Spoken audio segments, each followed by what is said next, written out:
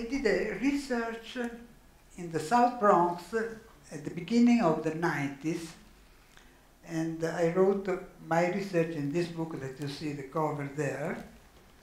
And actually, the research was done in, this is the Bronx, and this is the place, the Hunts Point district in the Bronx where I did the research. And it is a very important uh, experience in my life because there I discovered the connection between humor, listening, and a participatory approach to urban planning. And also, more generally, I understood the need for an upgrade of democracy, for upgrading our political life in the 21st century.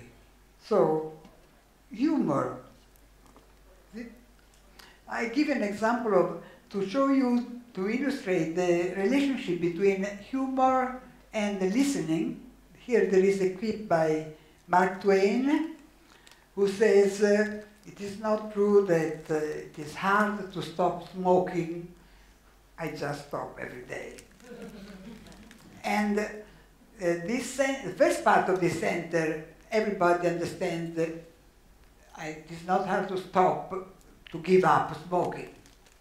But then the punchline another frame of interpretation comes up, and it is I can stop every day. I can, I can give up. I can continue to smoke and give up every day. So that is why you laugh because you are taken aback by the punchline, and you see that there is another interpretation that you before you thought it was not uh, there. It was not possible. Now this kind of uh, of pattern and dynamics is very useful, not only in humor, but in uh, jokes, but in everyday life. In now, to understand everyday life in a global world, you need to know that you cannot uh, um, exclude the unexpected. You have to keep an open mind. You have to be ready to be surprised. And uh, also, you need to laugh at yourself because you are going always to be trapped into an interpretation that you feel it is the right one. And to get out of the cage, you need some humor. You need to see yourself also from the outside.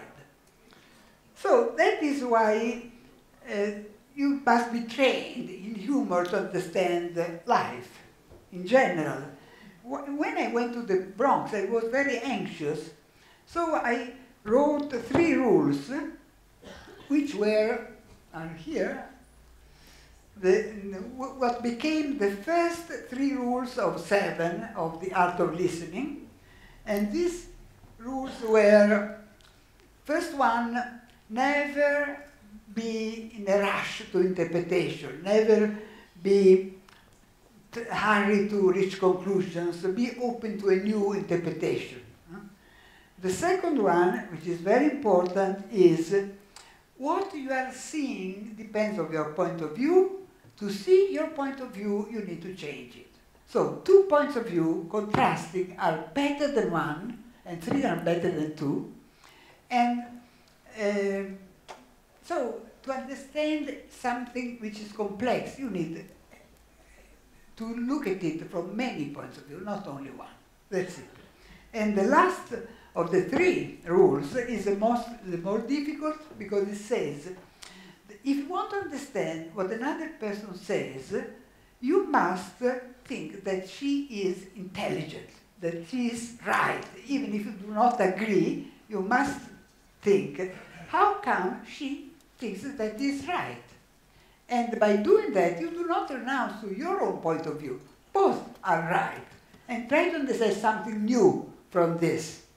So with this methodological baggage, I went to the Bronx and I met these people, or the people of this committee, who was famous because they succeeded in rebuilding their neighborhood, making it a safe place. And I wanted to understand how they did it. So th- their name, the name of their organization was Banana Kelly Community Organization. And it was called like that because they, the, the first place where they met was uh, Kelly Street, and Kelly Street, uh, as you can see from one of these paintings up there, has a shape of a banana. So that's why they call it themselves Banana Kelly. Already that name gave me the idea that they had a kind of a sense of humor. Also, if you can see, there is a mural there, up there, uh, where kids are playing. That was the whole wall in Kelly Street with that mural. And uh, actually, as soon as I met them, I spent three months all the day long staying with them.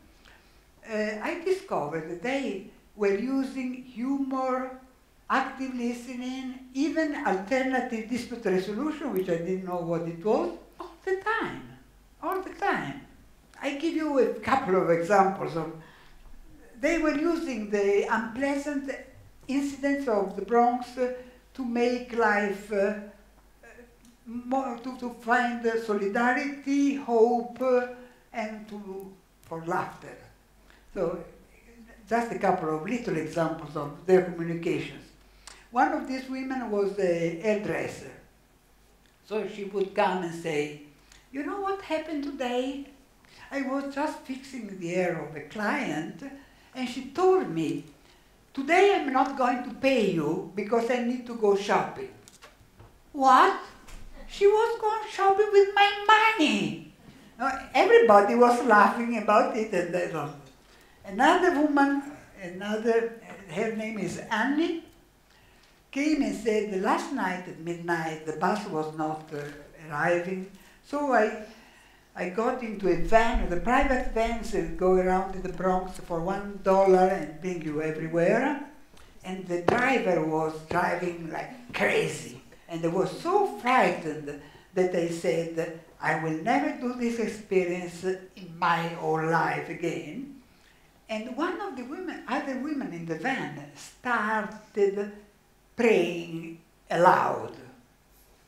And, and Pearl, another woman of the committee, says, that's when you, are get, you get really scared, when another person starts praying aloud.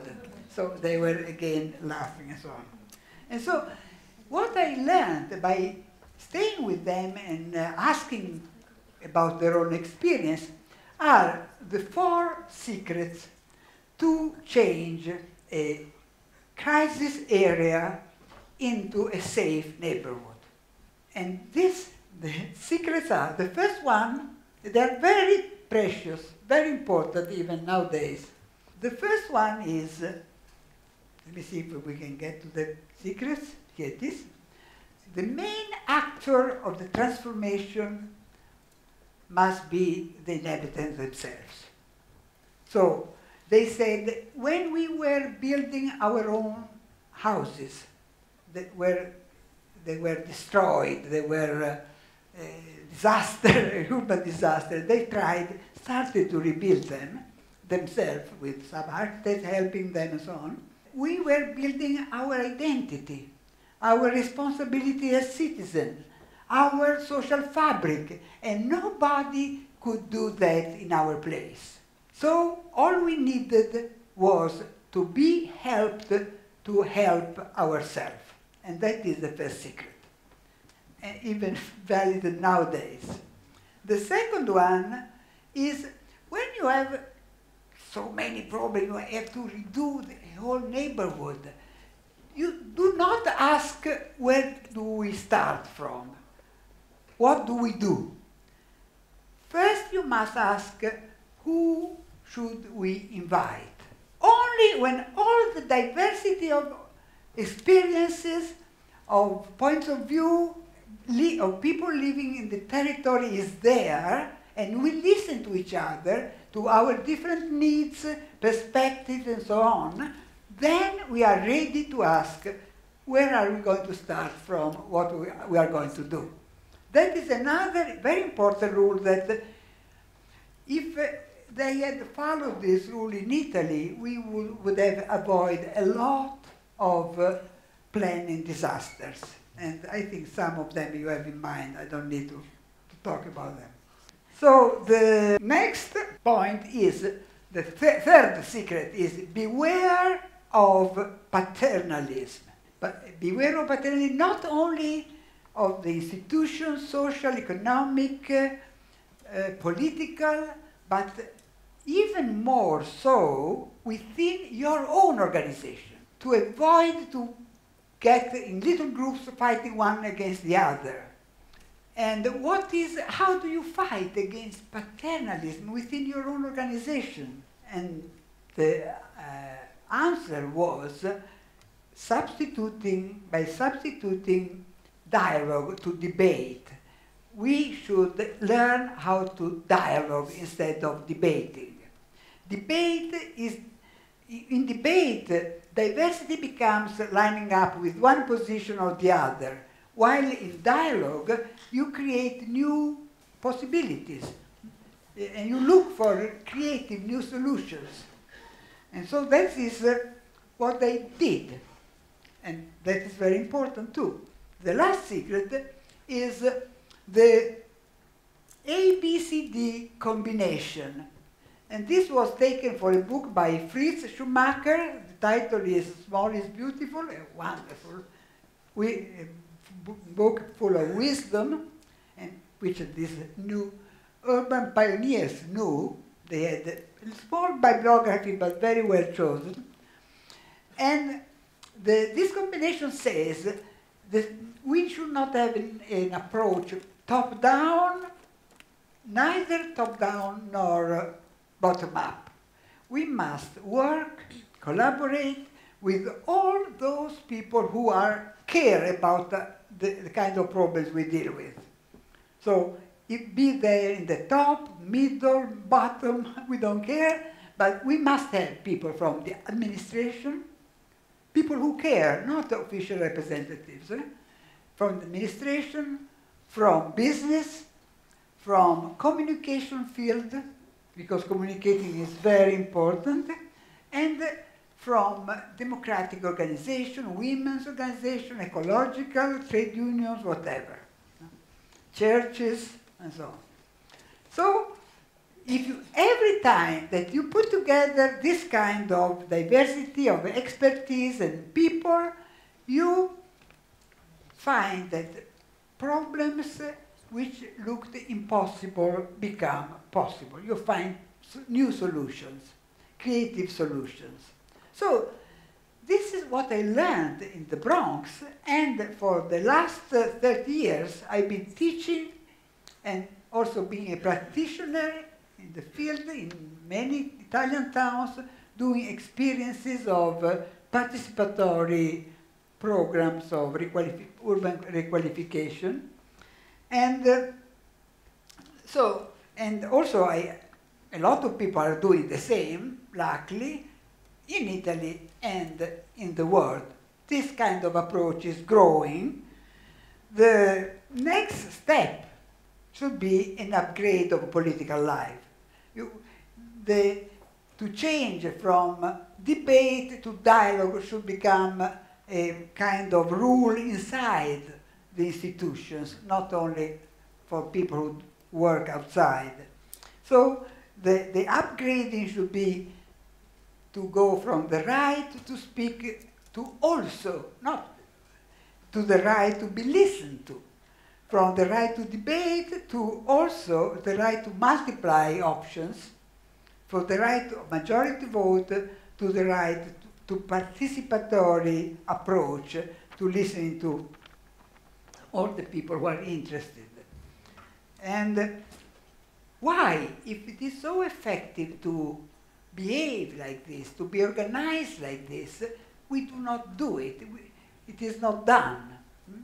I think the answer is fear. The people in power, bosses everywhere, but also everybody, are afraid that if they give space to diversity, they are going to lose control. Chaos will dominate. And they are right, actually. If they don't know how to listen, if they don't know how to use a humoristic approach to life, if they don't know anything about alternative dispute resolution, actually, diversity becomes chaotic, and, and that- that's it. But reality is enough chaotic even now, so it is. But anyway, uh, so what you need to do is to learn this capability, which are the elementary capabilities for effective mm, decisions, uh, and also for transparency, and also for uh, a better moral world. These are some of the towns. uh, wait, here. Here are some of the towns where, where I've been working: Matera, Bari, Bolzano, Venice, Bologna, Modena, Livorno, Torino, Milano, and I've been doing experiences similar to the one uh, that I learned, I saw in the Bronx. And I hope that this is going to go on the same way. So thank you very much for listening to me.